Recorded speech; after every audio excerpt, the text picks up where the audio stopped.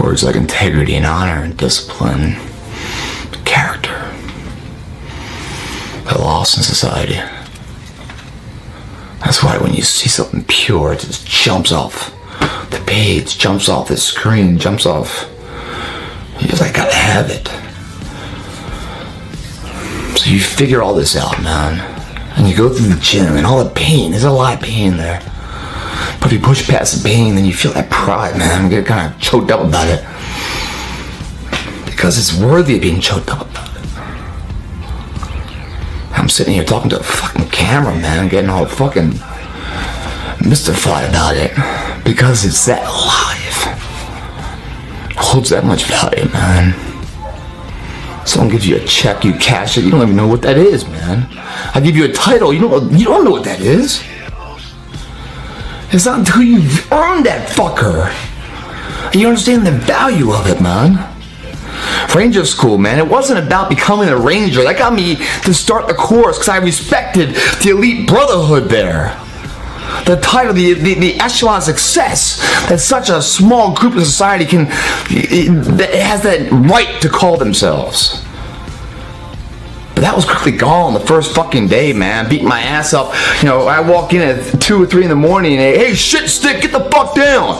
Man, I, I didn't walk three feet into that compound. 500 push ups, man, I can't move my arms. And I got 70 days of this shit. I'm only five minutes into it. I'm already dead. And I came into the best shape of my life. Oh my god, man. You think that title is in my mind at that point? I don't think so. What keeps me going?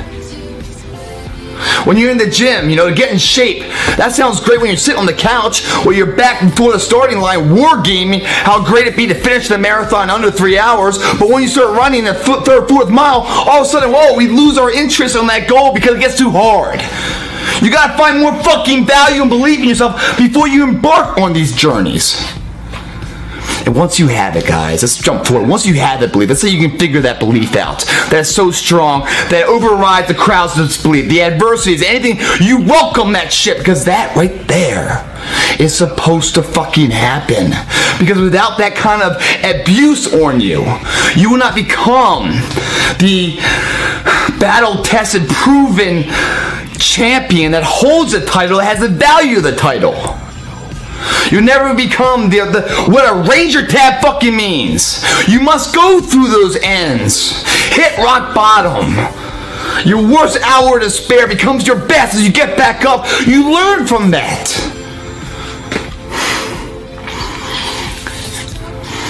And then you uh you continue to put one foot in front of the other. But it's not work, it's love.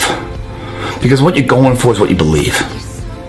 Once you believe in something, guys, then you can actually begin to have a career in any endeavor. But if it's a fitness endeavor, let's talk about that fitness endeavor, the fitness modeling endeavor. How to find value in that. First of all, you're selling something eventually, right?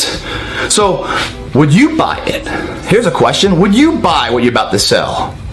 Well, in order to buy something, right, there has to be value. For me to spend my hard earned money into something, there must be some form of fucking value. And then the value has to be proven. You gotta have credibility behind that. Value. Walking the talk. If you're a trainer, Samuel, you've already entered competitions because you believe in yourself enough that you are that. Why would you ever embark on training somebody that they're paying you money, but fuck the money? They're believing in you to help them. There's a higher responsibility here. These people holding out for you, looking for some help, and you're coming up short. You're not quite in shape.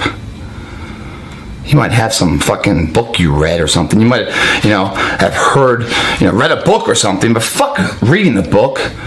I don't want to talk to you if you read the book. I want to talk to the fucking author that wrote the book. The credibility, the value behind it. I don't want you to plagiarize something. I don't want you to copy or duplicate whatever, whatever's already been done. I want you to be a fucking original. How about that? Scary, but how about that? In order to do that, you have to have value in who you are. You can't look at the end state of the paycheck. You have to look at the daily task of transforming somebody. That internal pride you feel. Know, I created my website because the world and what I knew in fitness when I first started out and when I started to make this site was missing a fundamental echelon of truth. I got so sick of the magazines and the supplement companies and the products just selling to your lethargic nature. Saying there's a quicker fix to something. You don't have to go through all that pain and learn so much. We'll give you the results right now. Those results don't have any value. They will never last. I got so fed up with it. That was the value that I wanted to replace. I wanted to put in society the void that was going to be filled. I developed a website for that to get the truth out there. The truth that I fucking walked. I've been up, I've been down, I've been shit on all the time. Still here. Judge me. You know, I fucking hit the ranks of the top cover guy. There's been how many people that come up? There's one guy get like two or three covers here. Oh, he's gonna take Greg out.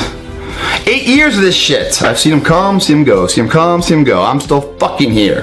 Why? Because I built my foundational fucking value that stands the test of time. I'm not here to make a buck. I'm here to make a fucking difference.